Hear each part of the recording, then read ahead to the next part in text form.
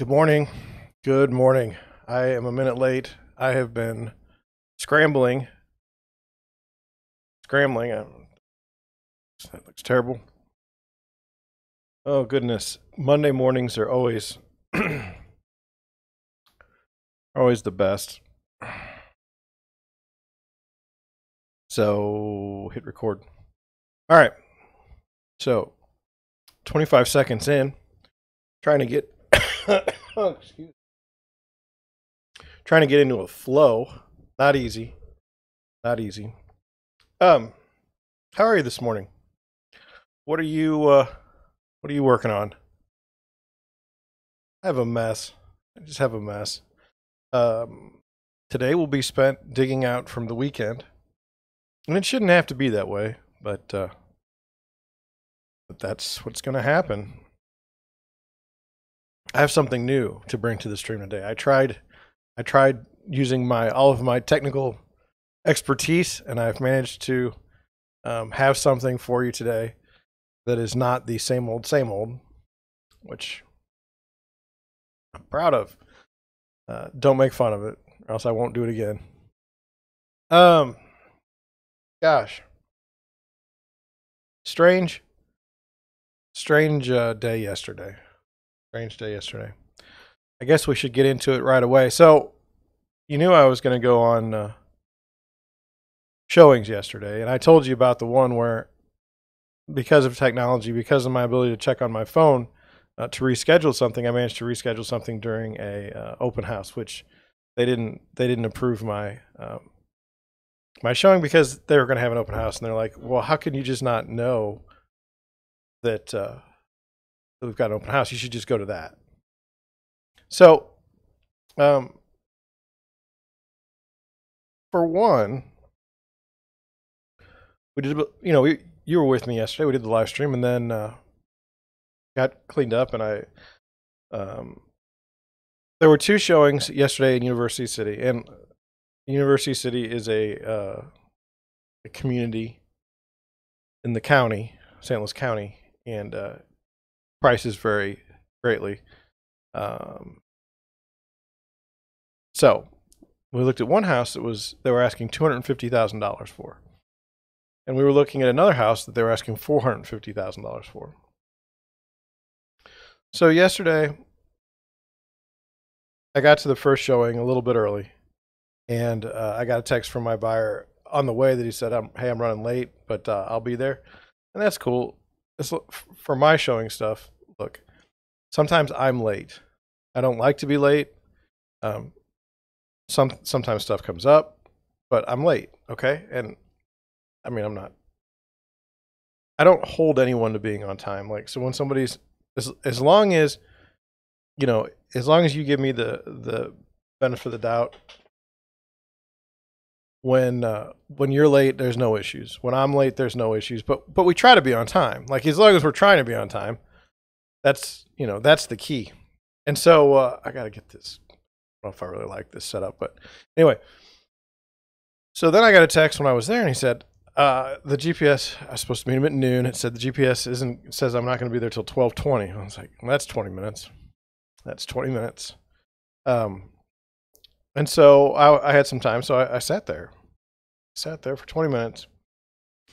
My point in the story being, hey, look, as long as you give me the same benefit if something gets screwed up for me. But he got there and he said, you know, hey, my ADHD kicked in. I'm sorry. I was, I just lost time and feel like I can relate. Uh, even this morning for the live stream at 8, 859, okay, I told myself I need to be ready for the live stream. And by 901, when I was frantically remembering that I had a live stream, um, you know, within the space of two minutes, I had lost my focus and was now late when I was going to be on time. And you've seen me do this before. So we go to the house, two hundred fifty thousand dollars. Strange in that when you go to, it's at the end of a street that doesn't have a turnaround, so you have to back up into somebody else's drive. Which if I'm if I'm the agent and there's a house that's like that, I'm not telling my buyers to buy the house because I don't want people backing up in my driveway every day. Is it okay if someone backs in every once in a while? Yes. but every day and every time somebody goes down the road and misses, no, that's just stupid. I don't want to be a part of that. $250,000 walk in the first room. He says, This is wonderful. I thought it was wonderful too. The floors were nice. Go to the kitchen, and something happened that I'd never seen on a showing before. I've been doing this for a number of years, probably a decade now, more than that. He got on the floor and looked underneath the cabinet, um, like where the kick panels are, and he said it's dirty. Really? Really? Who does that? Who who looks underneath the kick panel of the cabinets during a home showing? That was the first. Well, he does. That's the answer. That was the first time I've ever seen that, and I was blown away by it. Because look, what is the goal? Like, what are we trying to accomplish here? Like, are we trying to prove that they didn't clean a spot regularly? You know, like, like is it the is it the number one reason why you're not buying this home? Like, do I when they ask me for feedback on the showing, do I put we were really going to write an offer and we were convinced we, we were going to buy this house, and then when we looked under the kick panel of the kitchen cabinets and saw dirt, no, no, you you sick sick person, shame on you for not cleaning underneath there before showing. I'm serious. You may say, well, I mean, what if you look under the sink and there's mold? Well, sure. Sure. But looking under the kick panels of the cabinets on the floor and noticing there's dirt there? Come on. Come on. I made fun. I I know the guy. I made fun of him the rest of the time uh, for that. And so, anyway, three bedroom house, two bathrooms, I can't remember the other. Yeah, there was two bathrooms. There was one in the hallway, and then there was one in the master. It was a very plain house. There was nothing about it that was, um, unique. I hate to say that. They'd built a nice uh, wood stairwell off the side of the house. You know, there's no. I don't believe there was a fence. But all in all, a great house, two hundred fifty thousand dollars. I think 99% of the population could move in that house and be happy. I mean, there was really not, I mean, there was, there was nothing about it that was, that was unremarkable. So after that house, we went to another house. Now that the house we first looked at was two hundred fifty thousand dollars. Second house, they were asking about. I don't know. They had started off at like four sixty, and they didn't get a sale, and so they fired their agents. I'd like to know how you how you screw up well, I know how you screw up, but fired their agents and brought the property back on the market, and they're having an open house yesterday. I think they're down to like 440. So we go in this house, and I and it's an open house, and in St. Louis County we have masks uh, for like some things. It's very odd mask policy in, in St. Louis County, and, and I don't know about St. Louis City because I don't I don't know. But anyway, we we knew we figured we should wear a mask, so we wore masks, and uh, that was good because there were some other people wearing masks. But we walked in, and like I'm an agent, and the lady introduced herself, and she, I guess she thought I was not an agent or something, but she's like, "Go sign in at the QR code," and I'm like, "I'm not doing that." And my buyer's like, "I'm not doing that." Why would anybody do that in 2022? Like I don't want my email. I don't want you to email me listings for your for your brokerage. I don't want you emailing my client for listings for your brokerage. It's dumb. It's dumb, but you know what? Whatever. So we go in there, walk in the second room, and they had two people showing. You know, had two people at the open house, a man and a woman, and and the and they they have this particular brokerage has an image. They're young and hip. And as you, if you look at me right now, you know that young and hip is not an image that I can pull off. Okay, and I mean, disappointing. I, I don't think I could, when I was young, I don't think I could have pulled off young and hip. So I mean, I think I lost my hair at like 22, 23. I mean, gone. So young and hip is hard when you're bald. Just, I mean, you could go all the way bald, but I don't want to go all the way bald. I mean, shave all my hair. No, it's just strange. Anyway, that being said, we go in the second room. There's some people talking, and the thing about an open house, what I don't know if I've I've talked about this, but but I don't like open houses where there's all these people. Like, I, I don't think it does a benefit to anyone. I don't think it benefits the buyers. I don't think it benefits the sellers. I don't think it benefits the agents because, like, let's just use an example. Say a 1,500 square foot home, okay?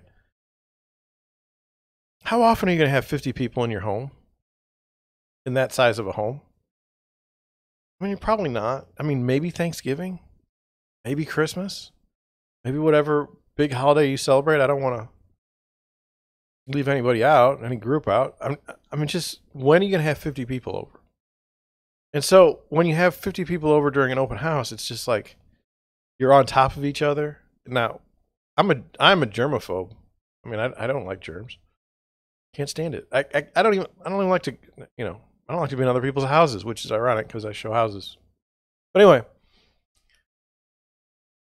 we uh, we're all packed in. I just want to get when I'm at an open house where there's so many people. I just want to get somewhere where there's space. Like I don't want to be with a bunch of people. This would be in the coronavirus times or other times. I, I just don't like it. So we go in the kitchen, and the kitchen's like six by six. And I and I said, uh, "Hey man, do you want to check the dust underneath the stove?"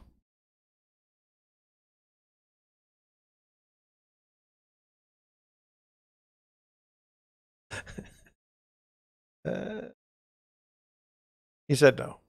So next to the one of the bigger pet peeves I have with homes in University City and, and homes in general is I don't like single I don't like bathrooms in kitchens. Okay. I, I don't like it at all. I've never liked it. I don't like it so much. You have no idea how much I don't like it. I just don't like it. I'm sorry. I, if that makes me a bad person, you say, well, that's the only place they could put the, the, the bathroom in the kitchen. It's like, you don't blank where you eat.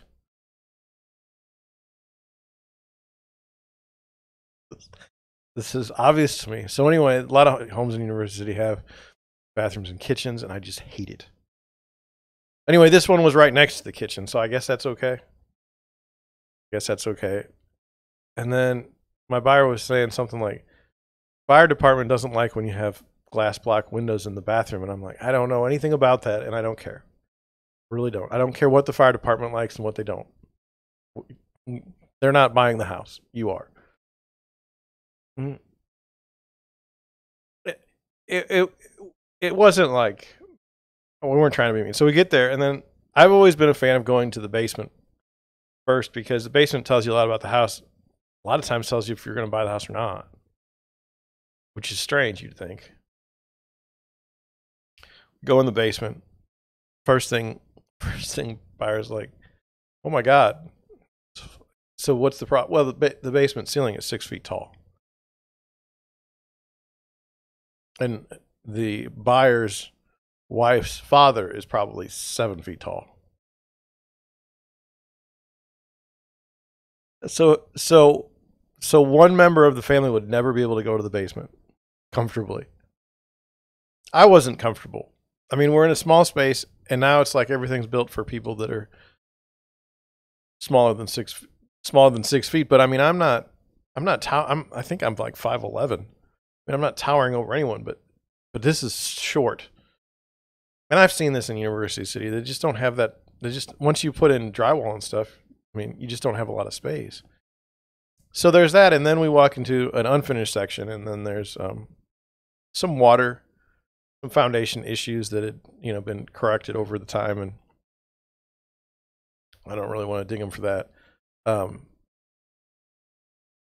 I thought that the um,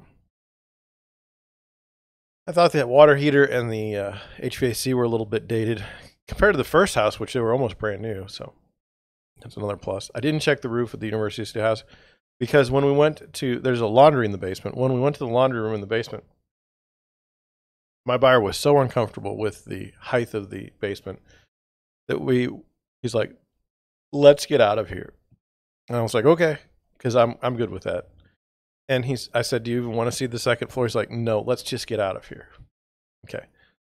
So what do we make of this? We've got a two hundred fifty thousand dollar home that anyone would buy, and we have a four hundred fifty thousand dollar home that was disgusting and terrible, and no one would want to live in it. I say no one, but if you would have priced it two hundred fifty thousand dollars, would someone want to live into? I guess someone's going to buy it now. But that's that's the difference between price and value. It's illustrated right there. What are you getting for your 400? You're getting more square footage, not usable. The kitchen in the first house was uh, for 250k was was larger than the kitchen for the 450,000. The bedroom size was about the same, and it was all on one floor in the $250,000 house. You didn't have to go upstairs. I mean, what were you getting in this house? They had done the kitchen. They had granite countertops. The other house needed uh, new. They kind of needed new cabinets. They were from the '80s.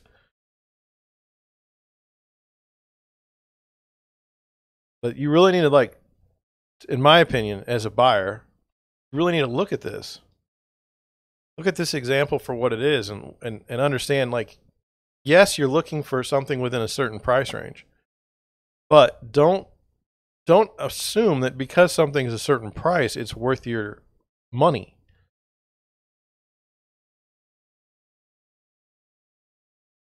To me, the the second house they were asking where they were asking 450, it wasn't in a neighborhood that was uh, like sensical. I know one of the reasons why people want to live there, but it's I don't want to get into it on a podcast or or a live stream. I don't want to get into it anywhere because I don't know how to I don't know how to couch it in any way that would be n- n- not offensive to someone. Uh, but anyway, we walked through there and uh, couldn't stand it. You shouldn't be. So, what about open house etiquette? Well, I've I've done a lot of open houses, and um, as the agent at the open house,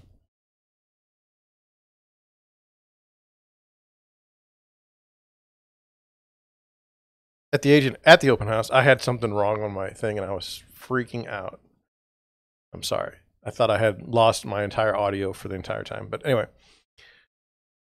as the agent at an open house, I have seen people walk through the front door and try to get away from me. As far as like w- when they're ready to leave, they will go through the basement door. They will jump fences. Okay. And I don't think I'm that bad of a person. Like, and I'm not a salesy person either. I, whenever someone comes through one of my opens I'm like, "Hello, how are you? If you have any questions, you know, uh, first of all, I'm John Schenk. I'm the listing agent. If you have any questions, please let me know. That's it. That's it. Or hey, how you doing this afternoon? You know, I'm not. I'm not the guy that's like, hey, well, who's your agent? I, I can do a better job for you. You wouldn't you wouldn't have to go to open houses. You'd be with me the entire time. We we could go to houses together, and I'll always show houses to you personally. It's like you really want to hang out with that dude. Like that's the number one thing you're thinking is, oh, can I please hang out with this dude?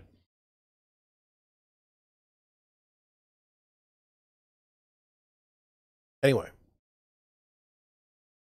Anyway, so it's okay to leave the house in any way you want to.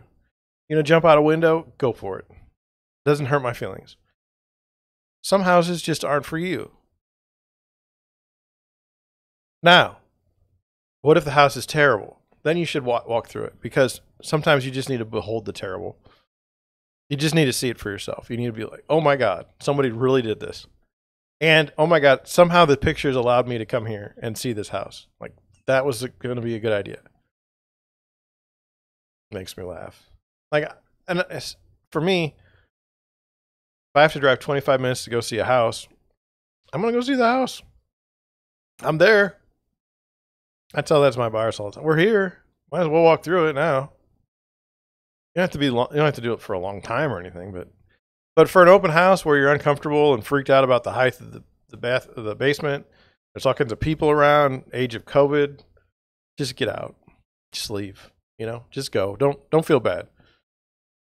So that's what we did. And when we got outside, he got some air. He's like, I hate this. I, I want to go. I'm going to call my wife or I'm going to call my, well, I guess my girlfriend. And we're going to get, we're going to get, uh, we're going to get out of here. This is terrible. Like, we're never looking at this house again. This is definitely a no. So, I don't know what to make. I don't know what to make of that. So then,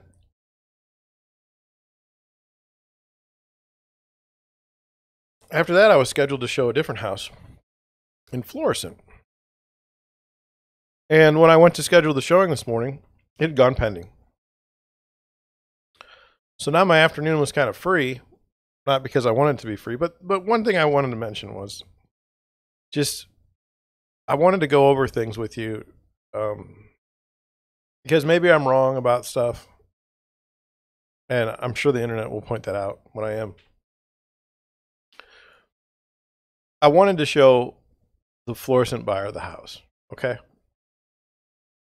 He wasn't, he had to work on Saturday. I couldn't show it.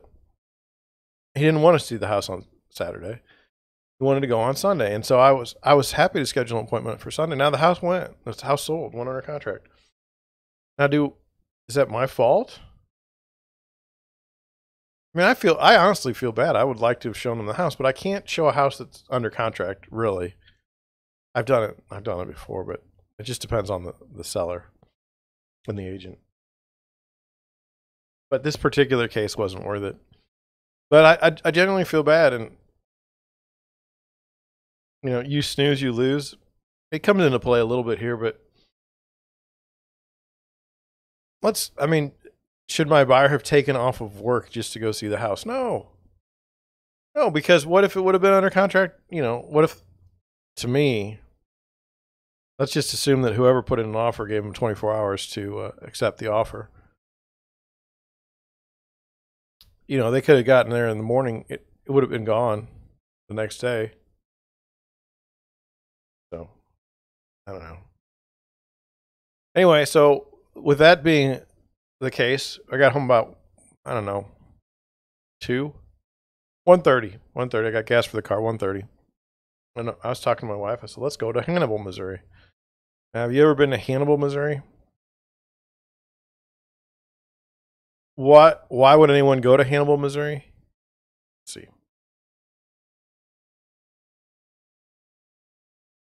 Let's check. Oh boy, Hannibal Lecter's not where I want to go. Hannibal, Missouri.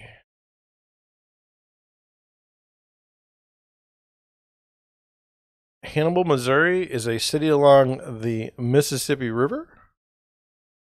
Here, I'll I'll put you on to uh, I'll put you on with me.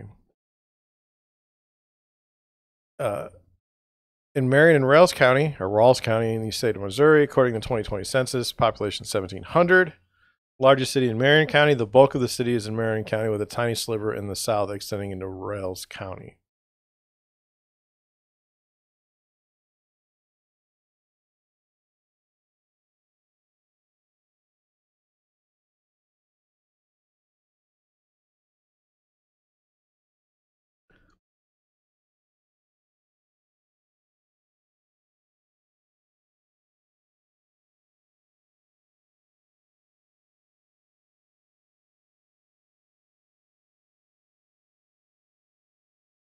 Isn't that interesting? So, if you've ever read Mark Twain, he talks about being in Hannibal. On the Wikipedia, the the Wikipedia notable players thing doesn't have anything like doesn't put doesn't really put Mark Twain in the uh,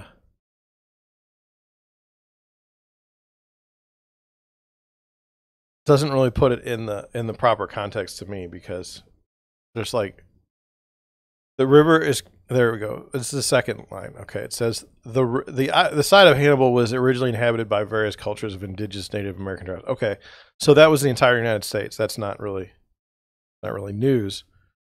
The river community is best known for the mid 19th century boyhood home of author samuel Langhorne clemens also known as Mark Twain, which that's his pen name. Wouldn't it be more? Is he more well known as Mark Twain? Twain drew from his childhood settings for his novels The Adventures of Tom Sawyer and The Adventures of Huckleberry Finn. Numerous historical sites are studied with Mark Twain and the places depicted in this in his fiction. Heritage tourism contributes to the Hannibal economy as the city attracts both American and international tourists.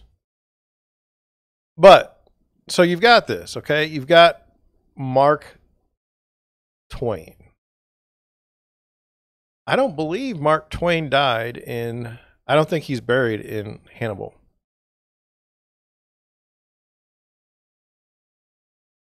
I believe he's married. I believe he's buried in. Yes, here you go. He's buried in New York. So it's not like you know he wasn't that big on Hannibal. Anyway, we went there. We went there. We went to Hannibal, and I want you to see just this one thing that I that I put together. And please, this is this is the this is the thing that I did today for you.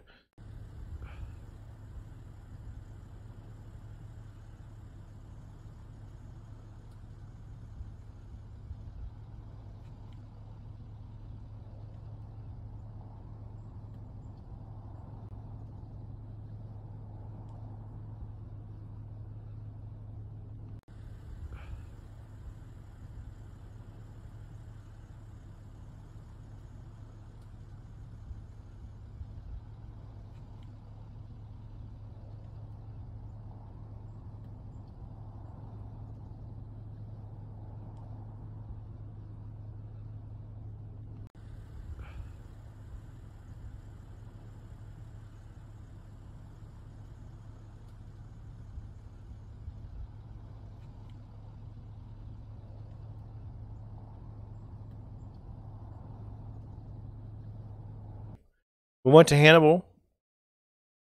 Went to Hannibal. Um, it's a two-hour drive from St. Louis, and yeah, drove home. Well, we didn't. We drove to Wentzville. And we'll give a shout out. We had a wonderful hamburger at the Tattooed Dog. It's in Wentzville. Um, I don't know if they're. I mean, that's a great hamburger, and then uh, we had fried Oreos for dessert, which are fantastic, and that's the first time I've ever had them. Highly recommend fried Oreo. So, let's see. That was my day. I had a, a million things I could have done online yesterday for the for the real estate business, for the podcast, for the live stream. A million things I could have done yesterday, but I just wanted to get out. The drive to Hannibal is not the most scenic. It's also not, you know, I'm biased to the south of Missouri. Whenever, I mean, my, my wife and I's favorite place to go is south towards Farmington just like there's rolling hills and there's trees and there's it's just nice. Whereas going north, it's it's more of a it's more like open plain.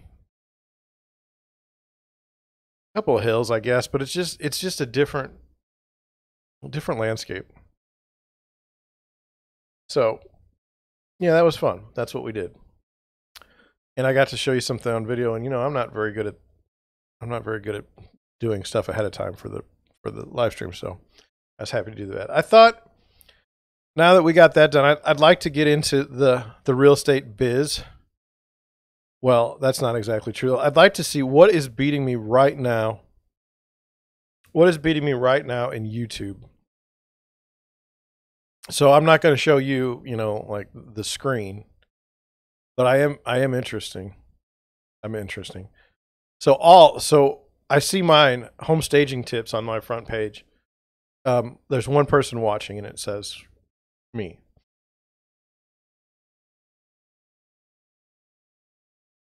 Now for my live, so I've got 255 people watching uh, Stargate music, 657 people. I don't, you know what? People that listen to music on YouTube, I'm not going to I'm not going to profile anymore because honestly, I listen to music on YouTube and I don't watch it. I just listen to it while I'm working. So no, I'm not going to do it. A Machines Convoy 2020 2022 live 6.1 thousand watching that.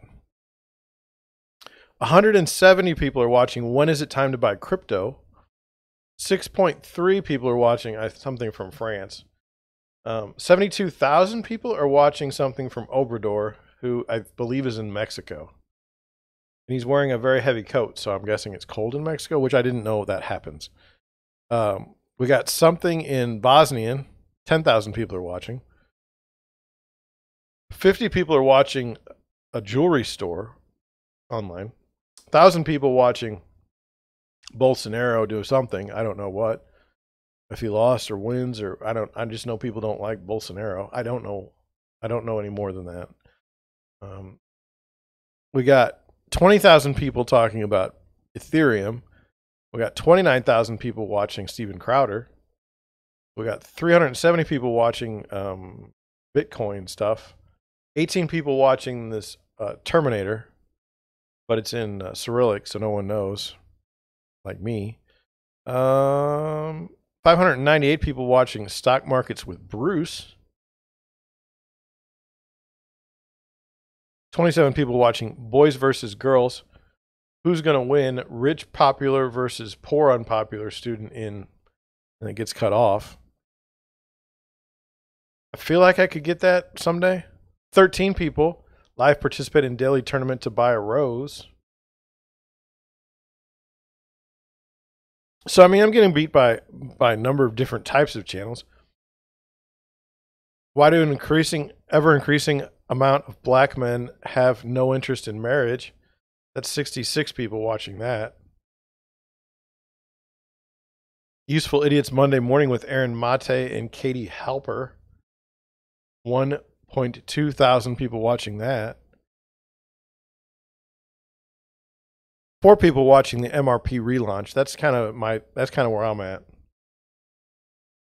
I think I can catch that.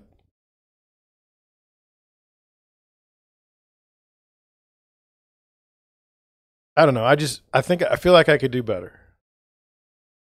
No offense. I day one day's left for 20 custom giveaway. 16 people watching.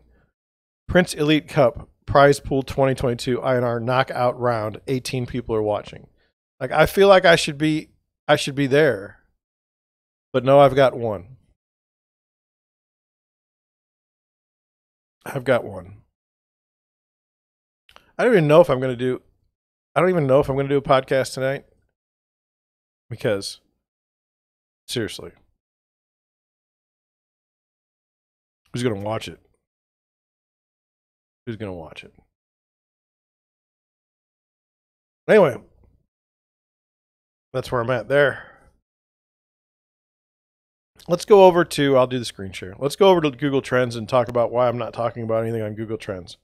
Okay, the first story from yesterday 2 million searches, Miss USA's dead. Well, that's not that's not really something I want to talk about. Number two, Rafael Nadal wins the Australian Open, but Djokovic isn't there. So I don't know. Would he have won if he was there? I don't know. Someone named Mason Greenwood. Manchester United drops Mason Greenwood after abuse charge. Now, this is 50,000 searches in the United States. Someone's watching Manchester United soccer. Howard Hesseman, Dr. Johnny Fever on Dr on WKRP in Cincinnati dies.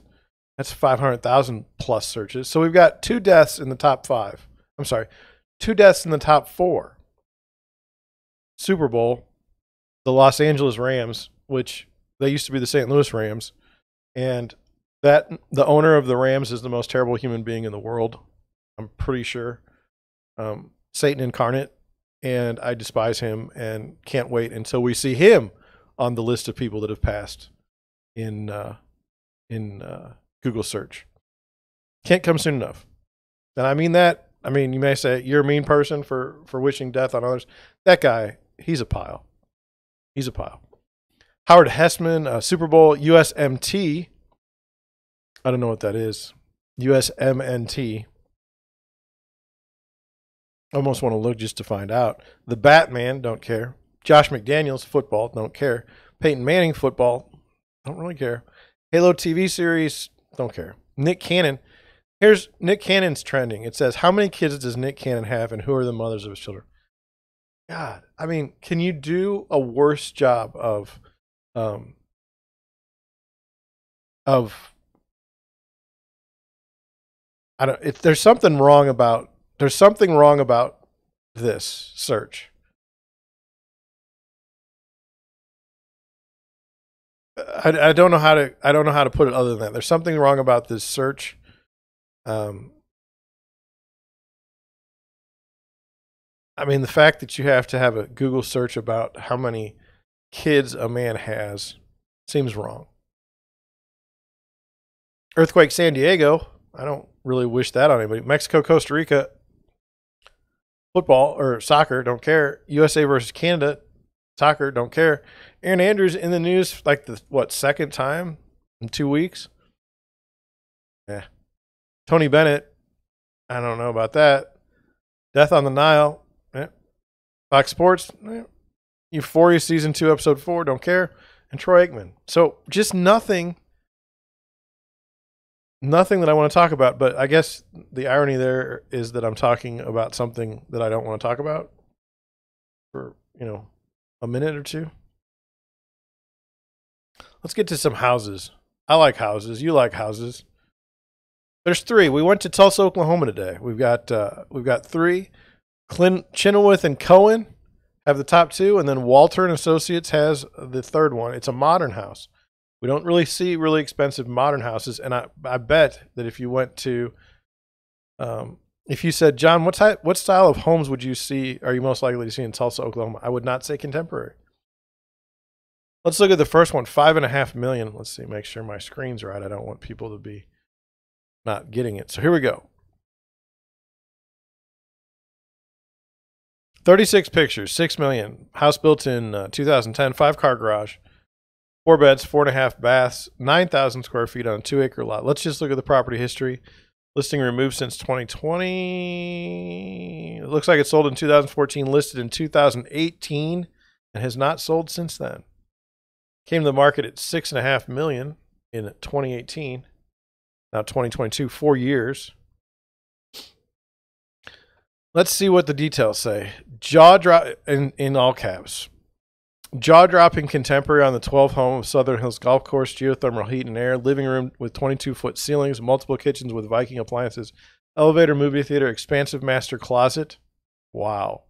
Saltwater pool and outdoor races. I think I think they're not doing enough on the listing description. This is just me. Okay, so you walk in. What do we got? That's nice.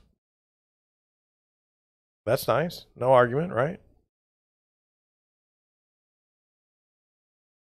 I don't know if this is if this is uh, what do you say frosted out or whatever pixelated. I wonder what that is, or if it's supposed to be pixelated. I'm kind of I'm kind of curious now. It looks phallic. There, I said it. Okay, so there's the entrance, right? I mean, nice kitchen.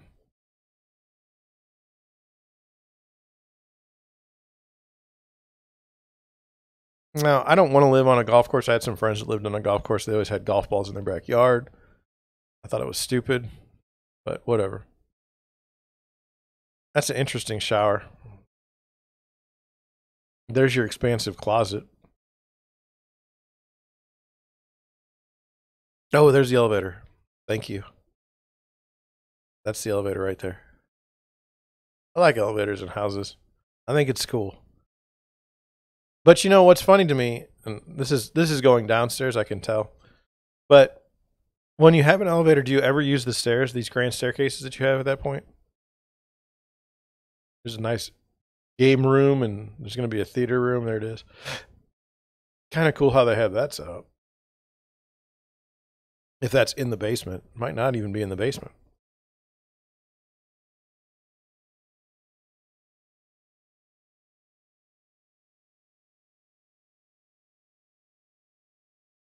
I suspect I, I suspect that's a death, a death, a, a, a desk, an office.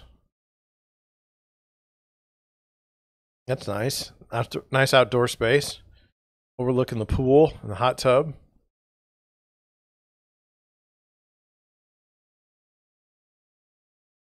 I like the pool and hot tub combo. I don't know, maybe that makes me weird, but I think it's it's great. Okay, that's the first house. What do we got for the second house? We've got uh, is it in the same zip code? Yes. This is a five bedroom, seven bath, only seven thousand square feet on an eight thousand square foot, on a eight eight acre lot. A unique opportunity to own a Tulsa treasure right on Southern Hills Golf Course. Nearly eight acres with a private estate. This property features a 7,000 square foot, five bedroom, seven and a half bath, single story residence, a mid century ma- masterpiece. Also featured is a 14,000 square foot, two bedroom, two bath guest house, an 1,800 square foot, full two bedroom, two and a half bath pool house, two shops. I don't know what that means. Greenhouse, lake, tennis court, outdoor kitchen, and pool. This property is being sold with an adjacent vacant lot on Evanston Circle. Please see the survey for details. 1959, three car garage, 153 days on the market. Property history listed in 2020, 5.6 million or down to 4.8 million. 50 pictures, perfect number. I would say contemporary. I would say contemporary design. Well, mid century, but I mean, what I'm saying, it's not the classic, the craftsman style architecture that we're accustomed to. I mean, a very interesting pool area.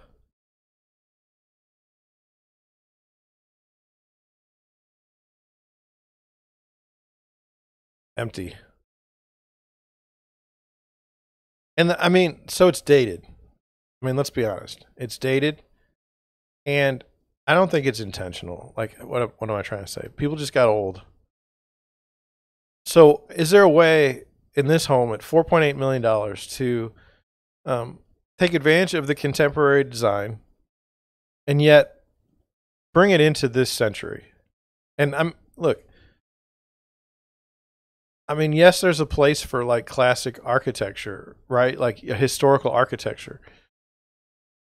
But I don't think that a home is necessarily for that. I mean, if you buy a home, it's yours. You need to make it your home.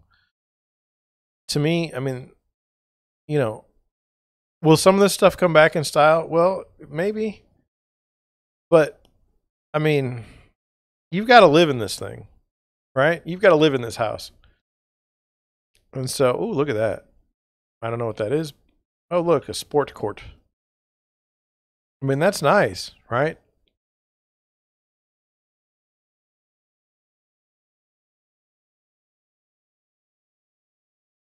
It's just sometimes I'm not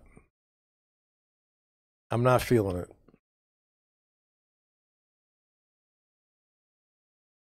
And it, you know, I get that the golf course is there. I don't know. It needs work.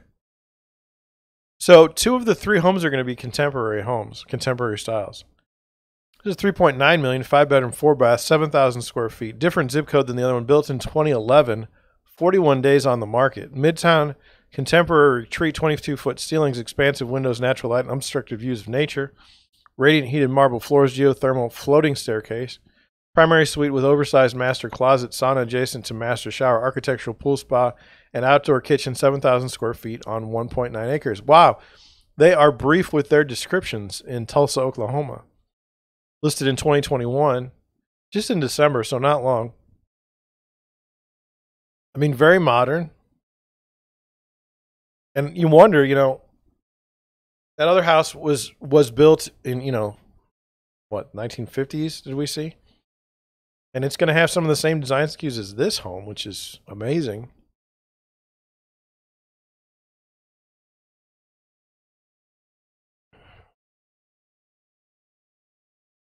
I mean, I have a lot of respect for people that live in homes like this and, and desire homes like this. Um, it's just not for me. I don't feel comfortable here. Um, I don't know. Does that make me a bad person? I don't know. I like the furniture. I don't know. But you know, it's it's it's one of those things. It's like John, you don't have three million dollars for a house or four million. This doesn't concern you. I was like, okay, but I mean, there's the shower, and there's the outside. Seems a little risque.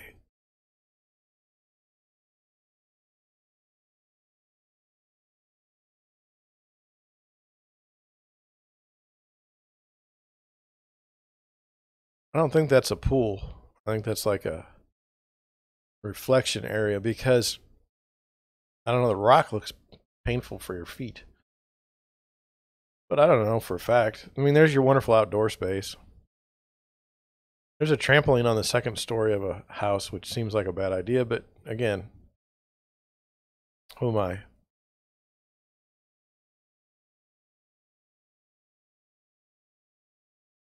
It's got to be a pool, but it sure does look hard on the body, hard on the feet.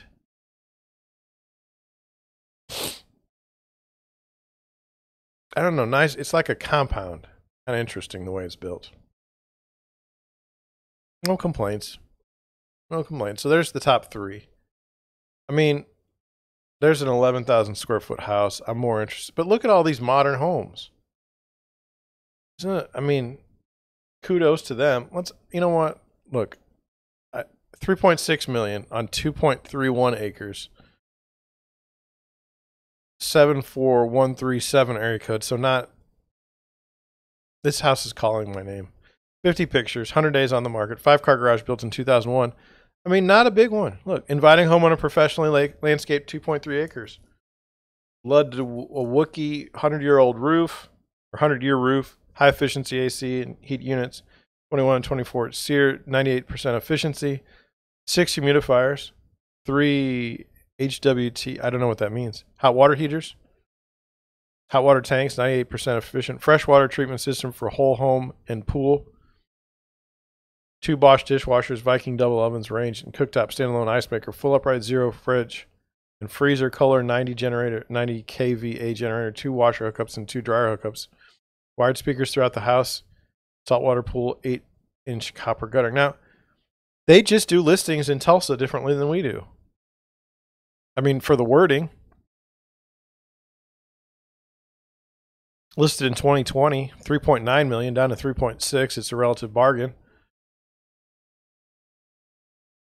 There's the front. I'm I'm getting sick of these pictures like this. I'm just saying, it's overdone. I think a grand of a grand view. I don't particularly like this tree here. It's overgrown, my opinion. That is a cool house.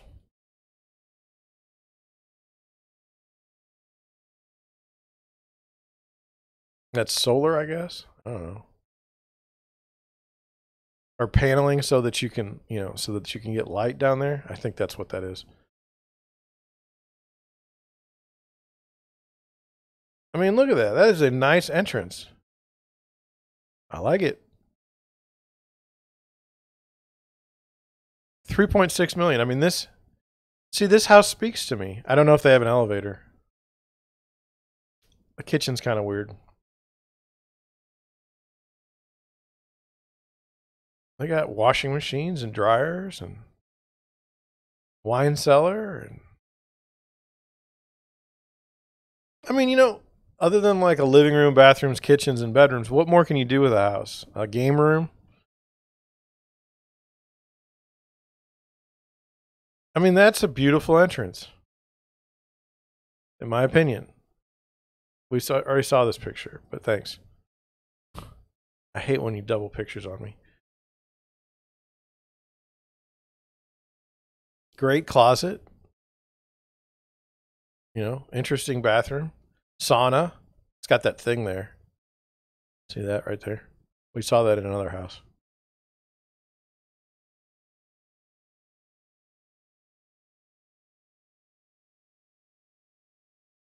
I mean, I would change some things in this house, don't get me wrong. I love the outdoor space. That's what I thought. See, I thought that was solar panels, but no, it's like translucent so that you can have a lot of light down there. Um, having being bald, I don't really particularly want a lot of light. I'm just saying. Let's look at an article. I don't know how many we'll get through today. Four staging tips that have universal appeal. So I submit to you that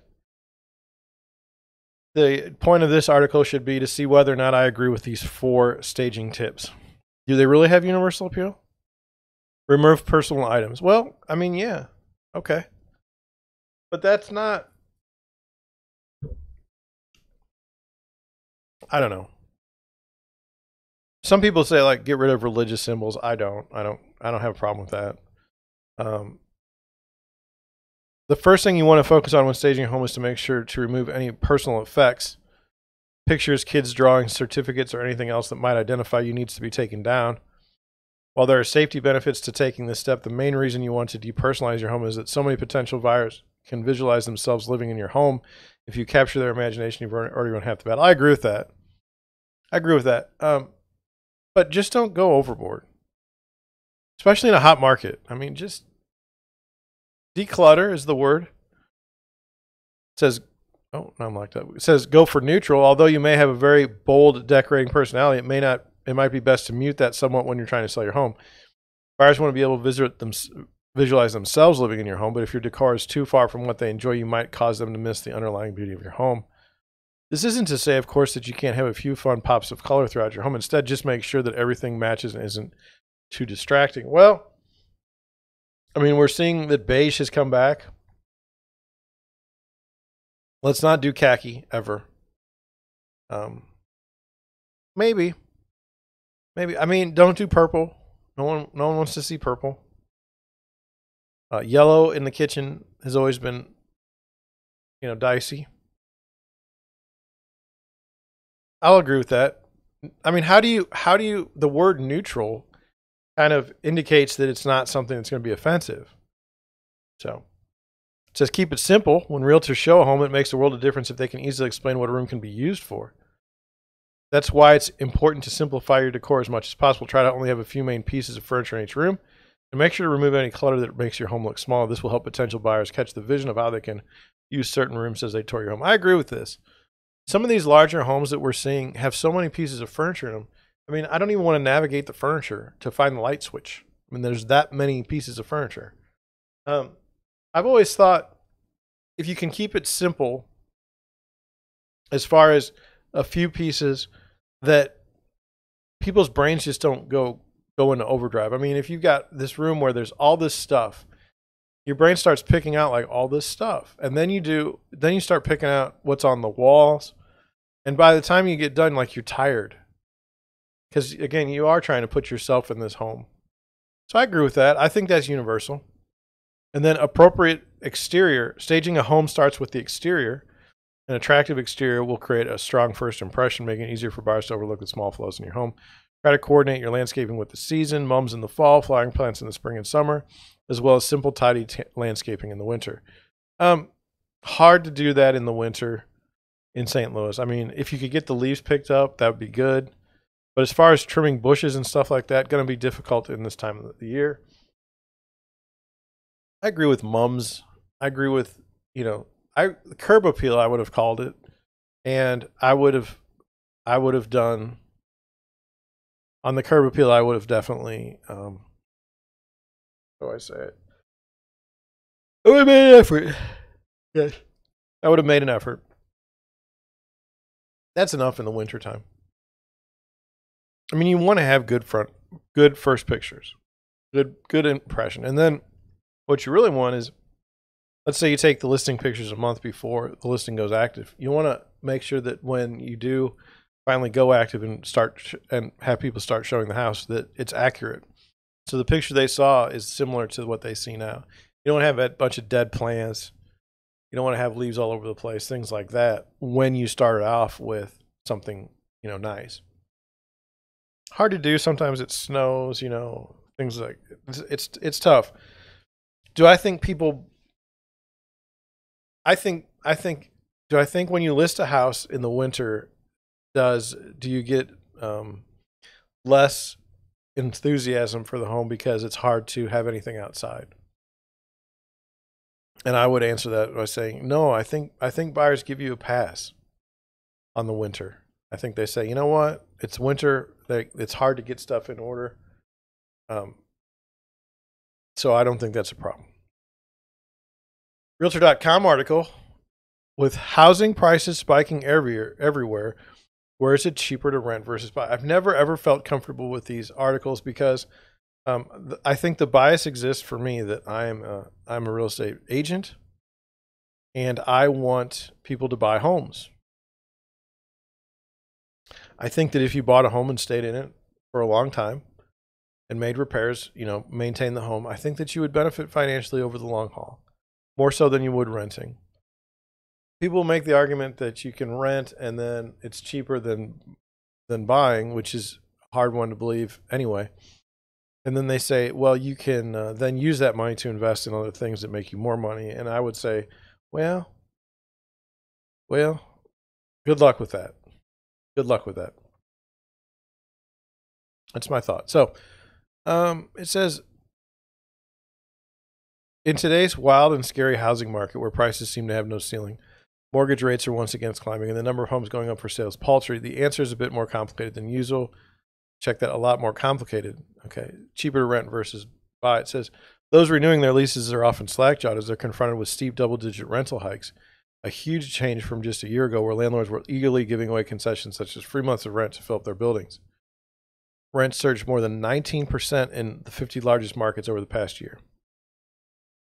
That's even more than the increase for in sale home prices.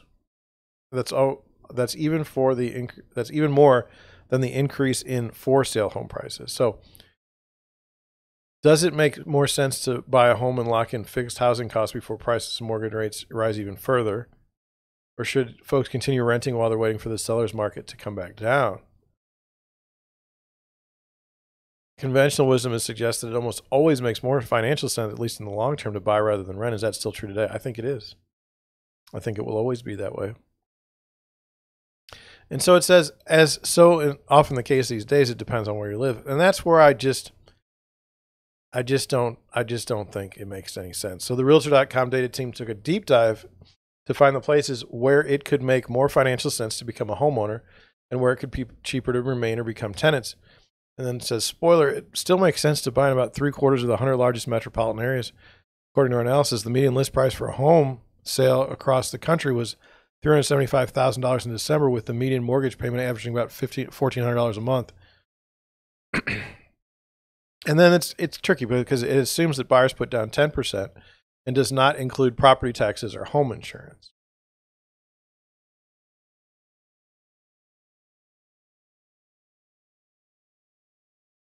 So if you put 20% down, your payment's different. If you put less down, it's different. It says, while that's not anything to sneeze at, it's considerably less than the $1,600 monthly median rent payment. And of course, homeownership has the big added bonus, uh, big ass. If I said that, I apologize. Big added bonus of building equity.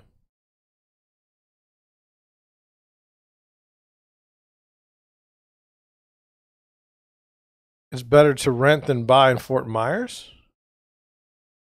Median rent is $4,005 a month.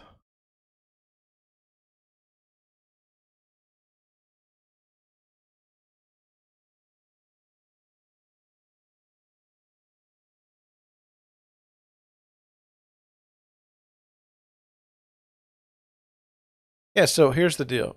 You got a thousand dollars in a house payment on a median home price of four hundred and forty thousand dollars. And your median rent is four thousand. Guy says even if you wanted to rent something, the probability of getting a rental is pretty low. Buyers looking for a slice of Florida lifestyle can be a, get a they they show a listing of their home for three seventy five. San Antonio, Texas, median home price three forty seven. Median rent is three thousand one hundred and seventy-eight dollars. Median monthly house payments one thousand four hundred fourteen. I mean, it's just kind of it's obvious. I hate to say. I mean,